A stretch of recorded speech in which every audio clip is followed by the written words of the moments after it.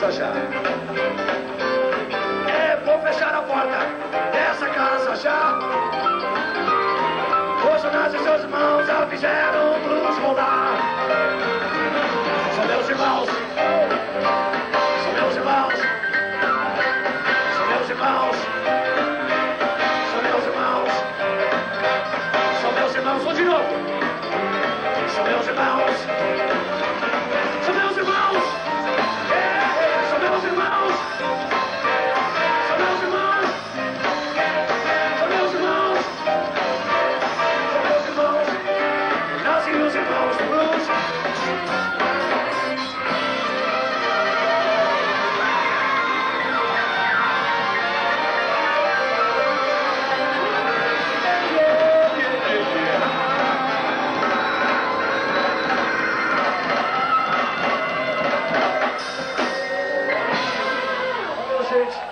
vamos pra casa que daqui a pouco não tem mais ônibus.